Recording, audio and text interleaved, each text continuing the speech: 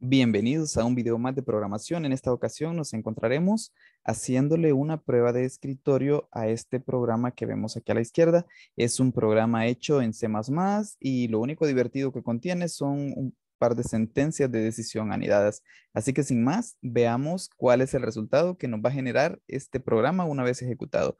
Bien, vamos directo entonces al código de la función principal.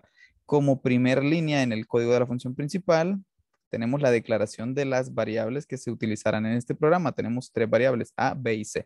Aquí ya tengo una tablita en donde voy a almacenar los, valores de las variables A, B y C. Recordemos que son variables atómicas, es decir, cada variable solamente puede almacenar un valor a la vez.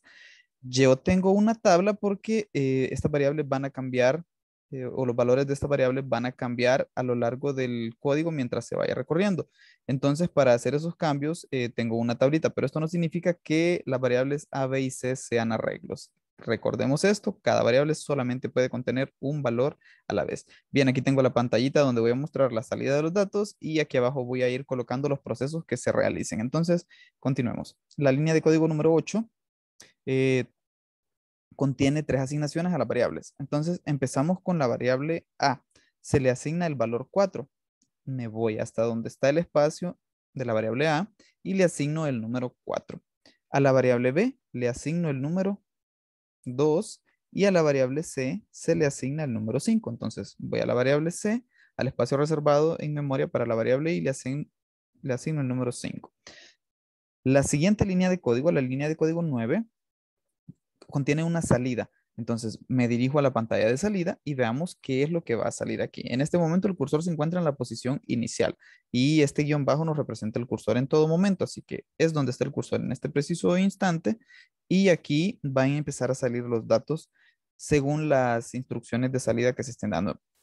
En este caso, en la línea de código número 9, tenemos que para empezar sale una cadena de caracteres con tres caracteres la A mayúscula, dos puntos y un espacio que está después de los dos puntos. Entonces aparece en pantalla A, dos puntos y un espacio. Después de este espacio tenemos A. Esta es la variable A. Significa que va a aparecer en pantalla el contenido de la variable A. Si nos vamos a la variable A, aquí lo que hay es un 4. Entonces aparece un 4. Seguido tenemos otra cadena de caracteres que contiene un espacio, la, la letra B mayúscula, dos puntos y luego tenemos un espacio. Ya están, ya los mostré en pantalla. Ahora, después de este espacio, vemos que sigue la variable b. Significa que en pantalla va a aparecer entonces el contenido de la variable b, que en este momento es 2. Ya está 2 en pantalla. Seguido de 2 aparece una cadena de caracteres con un espacio, la letra C mayúscula, dos puntos, seguido de otro espacio.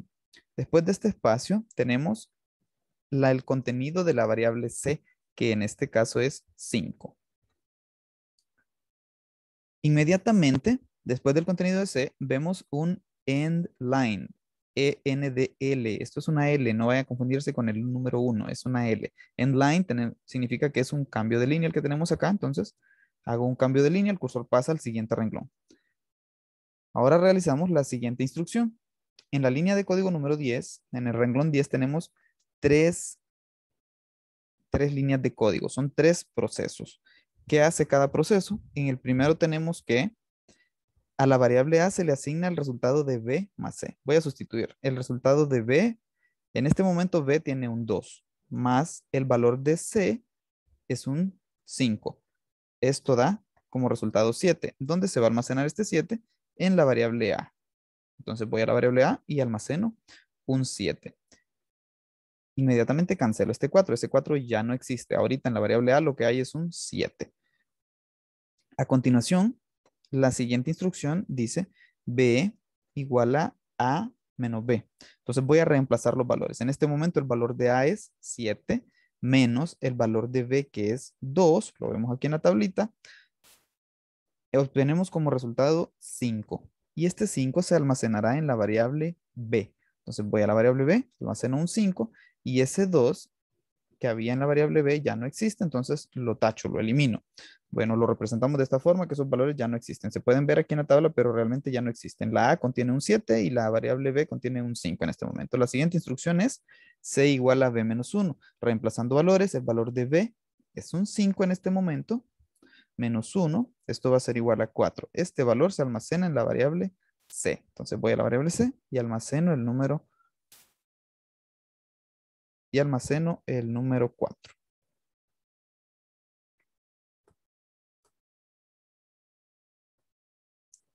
Bien, listo. El 5 desaparece. Así que lo voy a, voy a colocar una línea aquí para indicar que está tachado. Ya no está ese número. La siguiente instrucción, línea de código 12, una salida, otra salida a pantalla. Entonces voy a la pantalla y ¿qué es lo que voy a mostrar acá? Primero tengo la letra A mayúscula seguido de dos puntos. Luego tengo un espacio. Luego tenemos el contenido de la variable A. El contenido de A. A en este momento tiene el valor 7. Seguido de, seguido de ese valor tengo un espacio. la letra B mayúscula, dos puntos, tenemos un espacio. Luego el contenido de la variable B, que en este momento es 5. Un espacio. C y dos puntos y después otro espacio y luego el contenido de C que en este momento es número 4. Luego vemos que hay un end line, fin de línea, entonces hacemos un salto de línea, el cursor pasa al siguiente renglón en pantalla. Ahora vamos a la línea de código número 12, aquí tenemos una sentencia de decisión. Pregunta, ¿es A menor que 3?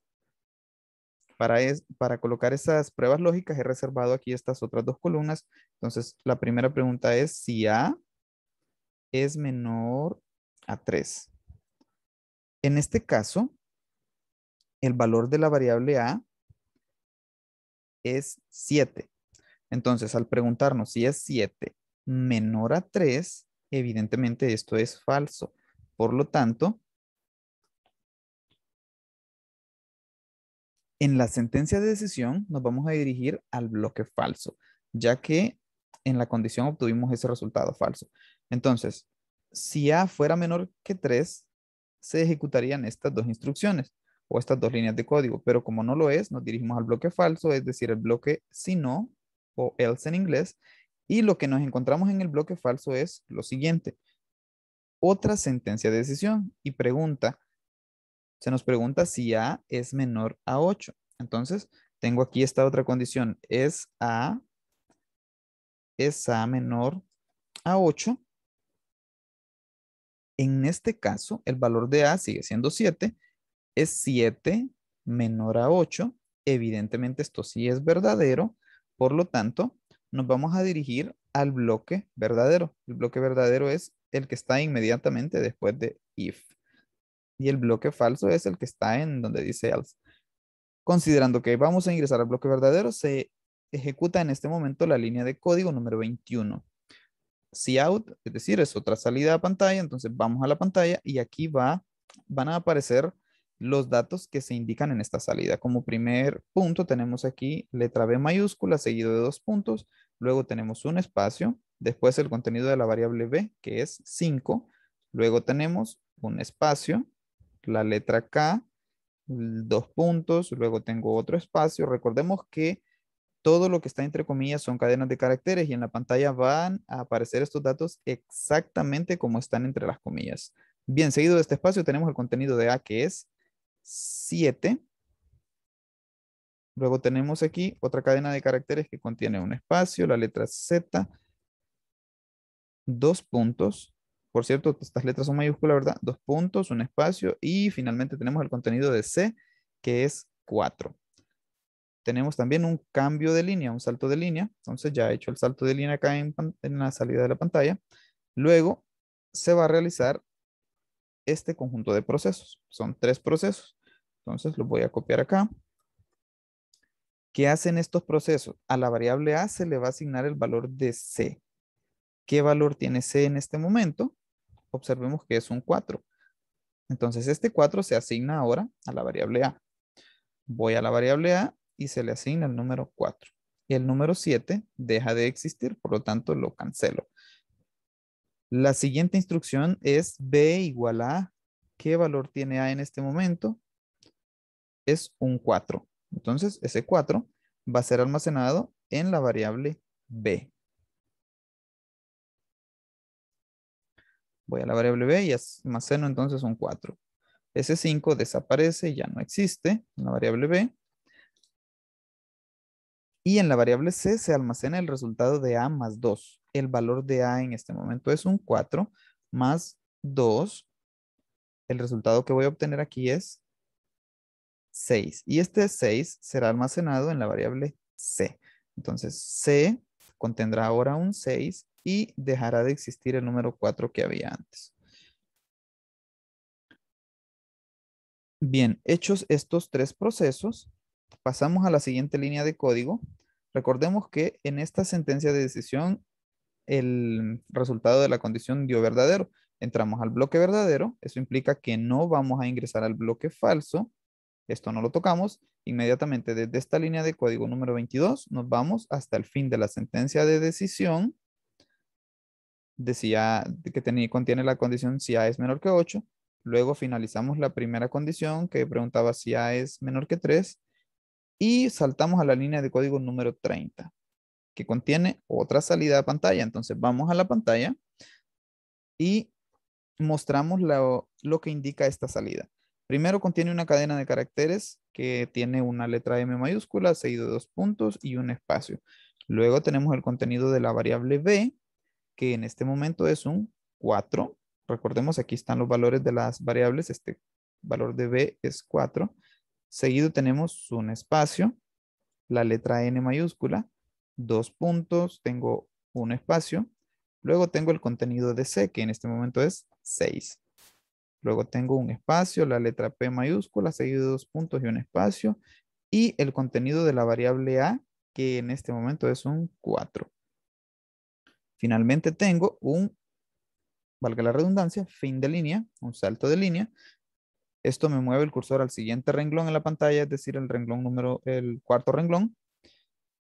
Y a nivel de código, llegamos a return 0, que es el fin, de la línea que nos indica el valor que va a devolver la función, que en este momento no lo estamos utilizando, solo tenemos una función que es la función principal. Así que nuestro programa ya ha llegado a su fin. Ya no hay más código por ejecutar, y esta es la salida que nos va a dejar este programa. Estos son los datos que generó como salida a causa de haber ejecutado todo este código, que es un código bastante corto. Estos son los procesos que realizamos y estos son los valores que quedaron en las variables. En la variable A quedó un 4, en la variable B quedó un 4 y en la variable C quedó un 6. Bien, esto es todo por esto es todo en este video. Espero que hayan comprendido. Si tienen alguna dificultad, recuerden que pueden regresar el video hacia un punto anterior para poder repasar algunos elementos que de repente no hayan comprendido muy bien. Listo, esto es todo. Nos vemos en un siguiente video y que pasen un buen día. Hasta luego.